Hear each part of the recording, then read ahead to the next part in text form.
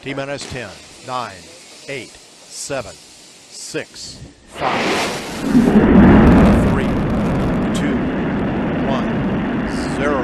And liftoff of Space Shuttle Atlantis on a mission to build, resupply, and to do research on the International Space Station. Houston now controlling. Atlantis begins its penultimate journey to shore up the International Space Station. Atlantis now on the proper alignment for its eight and a half minute ride to orbit. Four and a half million pounds of hardware and humans taking aim on the International Outpost. 30 seconds into the flight. Atlantis almost two miles in altitude, almost six miles downrange from the Kennedy Space Center already, traveling 500 miles an hour.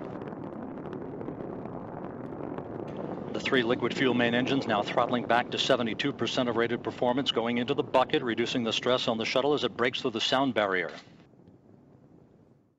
8, 7, 6, 4, 3, 2, 0. And liftoff for the final launch of Endeavour, expanding our knowledge while expanding our lives in space. Houston Endeavour, roll program. Roger roll, Endeavour. Houston is now controlling. Endeavour.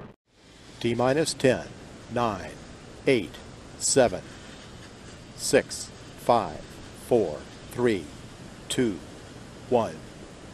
Ignition and liftoff of Ares 1X, testing concepts for the future of new rocket design.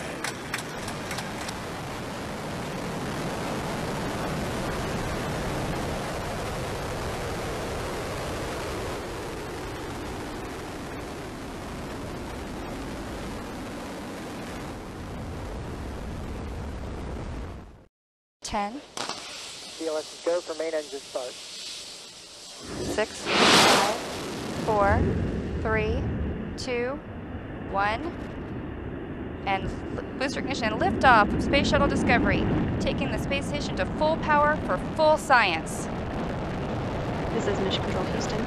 Discovery roll program. Roger roll, Discovery. Discovery's roll maneuver is complete. It is now in a heads down position on track for its flight to the International Space Station.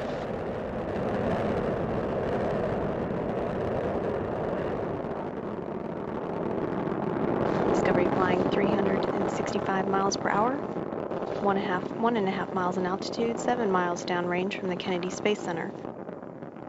Discovery's engines are throttling down as the orbiter passes through the area of maximum pressure on the vehicle.